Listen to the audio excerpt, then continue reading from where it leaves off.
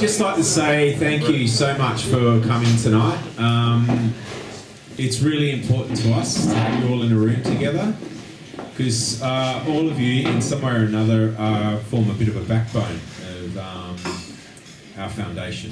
Uh, and so, before we get started on the Tour de France, which is going to start shortly, um, and obviously back be up on the screen here, I just wanted to quickly, um, I guess, grab your attention around what it is that we do and um, why it is that we exist. Um, yeah, because a lot of you would have seen that there's so much going on out there uh, as far as the different things that we're doing, and I just wanted to kind of concisely put it together uh, for those of you that are familiar with it and some of you who might not be. Um, first of all, I'd like to thank all of our sponsors uh, for being here, and there's quite a few of you. Um, and I'd like to name them all. We have like the Chamber of Minerals and Energy, Western Australia, uh, Bond Junior Cycling, uh, SMEC, Cash Management, Oral 7, Pedal Mafia, Horizon Power, uh, Linus and Phobium, uh, West Cycle and AusCycling, Pharmacy 777, Infocrank, Renai, Buganoo Aboriginal Corporation, um, and also some of the founding members of um, Verus Limited uh, that, that, are here that helped uh, set up this, this foundation from inception. And quite literally, if you weren't here, we wouldn't be here. So, um, apart from that, I'd also like to uh, acknowledge some of the Perth to Laverton riders that are um, riding this year. Um, that's the Chamber of Minerals and Energy Western Australia Perth to Laverton Cycling Classic. Um, I'd also like to acknowledge some of our Masters team members who are here, and um, also the incredible work that goes into running this foundation from so many of our volunteers and members, um, our, our, board members uh, who are here, who literally we couldn't do what we do without you, and the incredible work and the likes that Sabine does, particularly with the uh, Laverton uh, Cycling Project.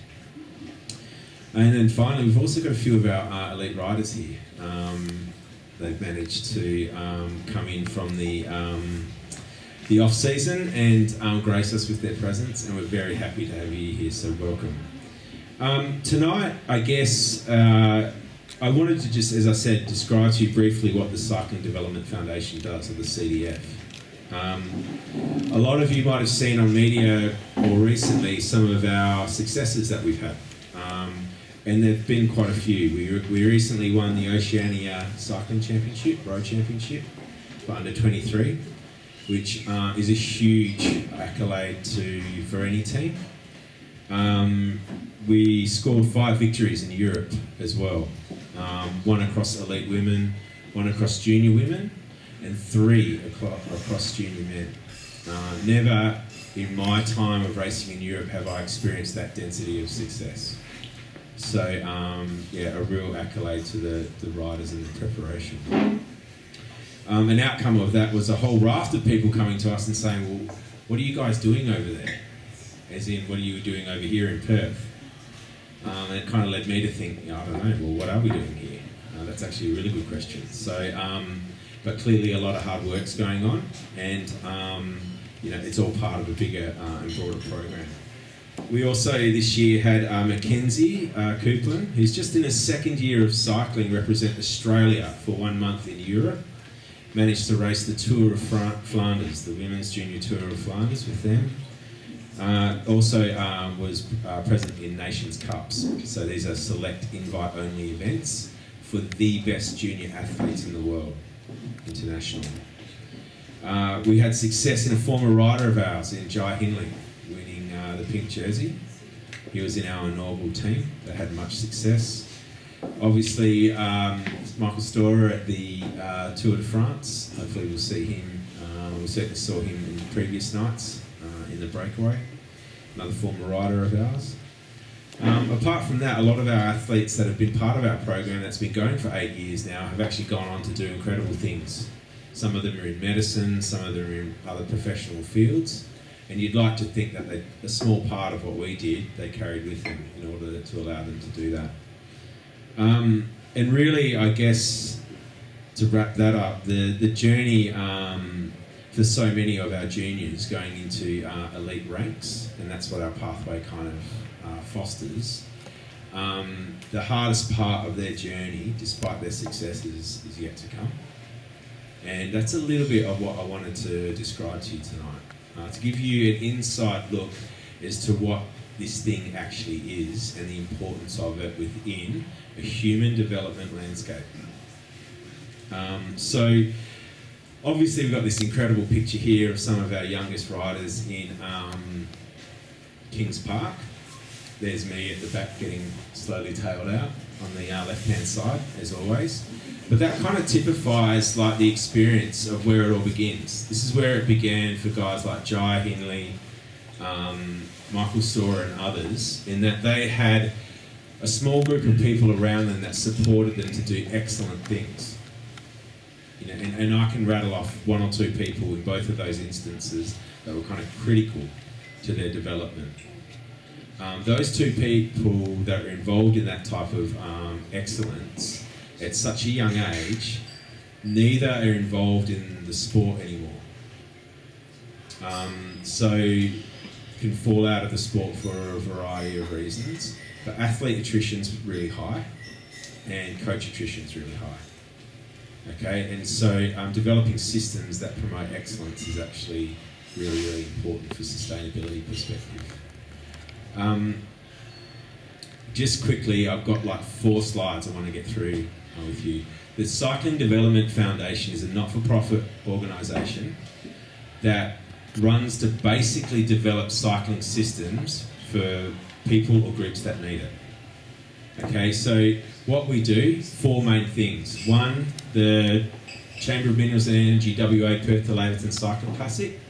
This is a ride that basically raises funds for the Laverton Cycling Project, the second one, and also takes in an incredible cross-cultural educational experience with traditional owner groups, Indigenous owner groups that share their knowledge of law, culture and country with us as we pass through their land all the way through to Arm Laverton. The reason why that ride exists is because of the second one, the Laverton Cycling Project. That's a, a project that for this year, for the first time ever, has a program run for a full year in Laverton with the youths and the community there that are kind of at risk. Okay, so really exciting that we could sit down with the Shire at the beginning of the year and say, hey, we're here for 12 months, what do you want us to do? This is the first time that's ever happened to them. Okay, so Laverton Cycling Project basically services at-risk Indigenous youth and community members or elements through cycling-related health programs. Really, really important because the opportunities for like engaging in these types of activities out there are very, very minor. The third one, Junior Cycling Academy. So that's basically a development program for aspiring athletes to progress them towards high performance outcomes. So kind of garnering and developing and fostering these attributes of kind of hard work, resilience, you know, all those kind of buzzwords at a young age. A lot of that goes on um, just in a hands-on um, perspective, you know, through sessions, testing, gym training, mentoring, rapport, with uh, a small number of athletes, up to about 15. So pretty applied setting. That's another thing that the CDF runs. Finally, we have nationally registered male and female racing teams.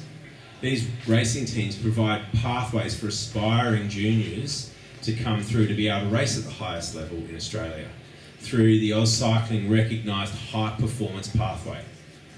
So at the moment, and the current structure, the NRS series is the high performance pathway for cycling in Australia. And we're um, an equal part of it, and we are the longest serving male and female national team in um, NRS. That's us. So we've been around for quite a while now. That little um, blurb there, best probably summarised by this little pathway. This charity ride raises funds for the Laverton Cycling Project. Laverton Cycling Project provides opportunity for youths and at-risk elements in, in, in sorry in an, in an at-risk community. Within that, there's opportunity for them to then go into the Junior Cycling Academy to then experience racing at an elite level. Okay, so that is kind of our pathway and our vision. Cycling for everyone. Okay? Dropping a bike in Laverton in that community is a pretty big deal. Because they just don't have resources like that. Leave aside resources that actually show them how to use it, how to service it, come together socially, train, exercise, all the benefits of um, cycling that we derive from and that we all experience from riding around the river with our mates or whatever it might be that we do. Okay? So that's our pathway. This is why we service it. Just quickly, why the pathway? A really interesting study was uh, only just recently released that went for six years. Looked at elite athletes in an Olympic, across two Olympic cycles. Delineated success amongst these elite athletes by one major psychosocial factor that had happened to the best athletes in this sample. And that psychosocial factor was a really adverse childhood event that occurred at a young age and the proximity of sport to that adverse event. So, kids often have an adverse event. Okay, and so to be candid, it could be anything from like a parent leaving home, it could be alcoholism, it could be a traumatic death of a, um, someone close to them, whatever it might be. The proximity of that event with the introduction to the sport was causal or associated, have a heavy uh, association with the, some of the best outcomes in Olympic athletes. So if we go back and look at something like Laverton Cycling Project, where unfortunately there is a lot of disadvantage and a lot of um, uh, uh, social demographic issues, cycling provides an opportunity for them to develop, to invest in something that's healthy for them, where otherwise they might revert to more maladaptive strategies, drugs, alcohol, all the stuff that's prevalent in our urban society, but within um, a community that has a large Indigenous element to it.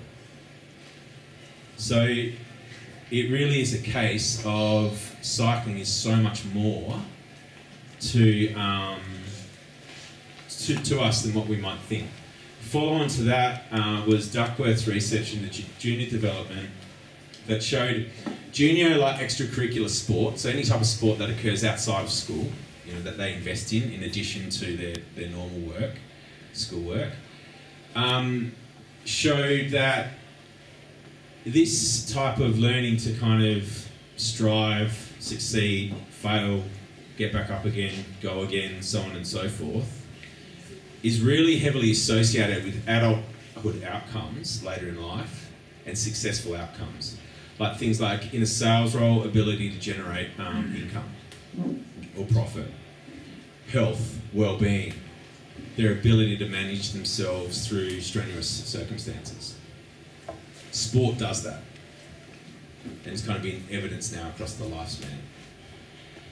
So, and what's really interesting is across these kind of um, nuances is that the hurdles are psychosocial, they're not so much physical. And research has even recently looked at um, getting all the um, Australian institutes, states based institutes, through the AIS, has collated all this information around what is it that athletes or aspiring athletes find so difficult. And they rattled off all these categories in order health was an issue, well-being. Things like support services was really important. The level of coaching they received, clear definition of processes. Financial um, constraints was only ranked fifth. Okay, so this is what they need. They need support here. They need, need support here.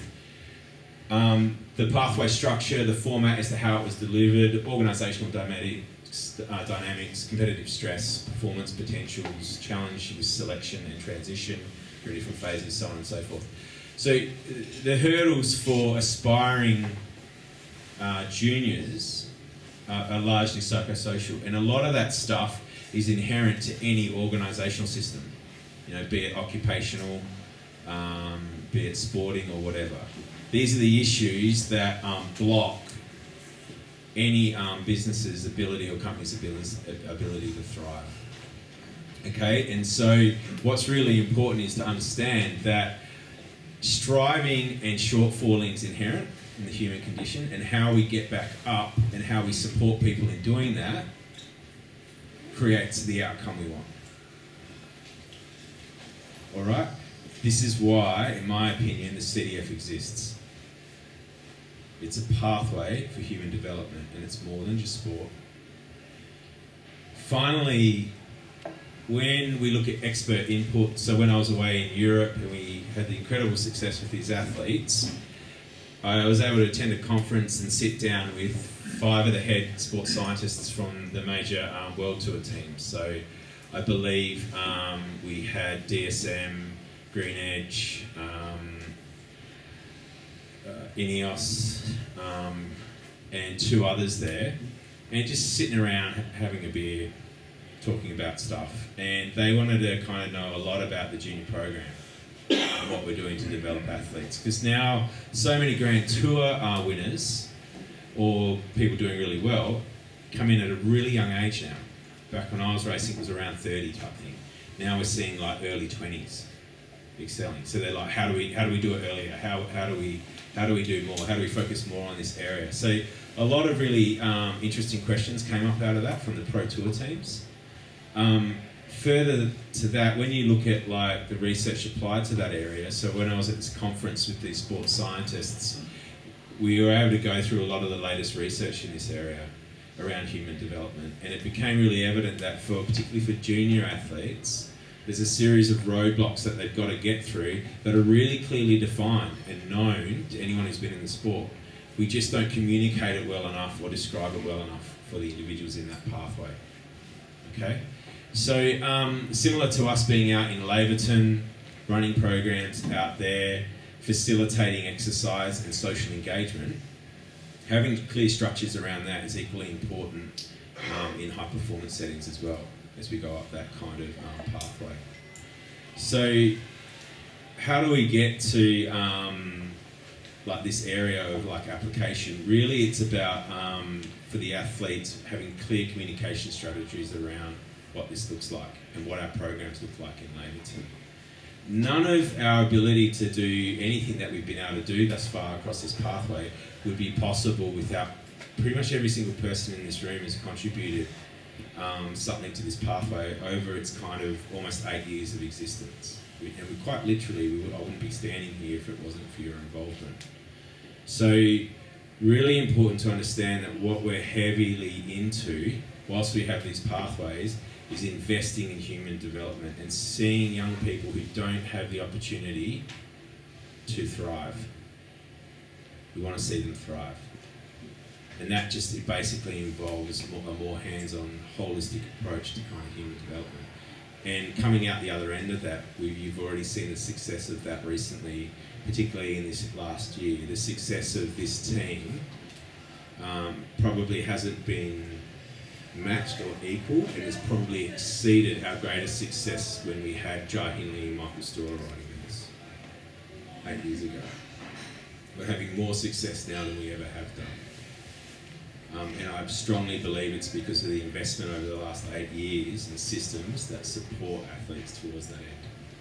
So um, the CDF is basically a not-for-profit entity. It has private tax deductibility status. You can make donations to it and get a, um, a, a tax invoice from that. Um, and any support that you're able to uh, forward us, as so many of you already, already are this year, um, be it private or be it commercial, um, I'd really like to explore those opportunities with you because we kind of will need all the help we can get to keep doing what we're doing.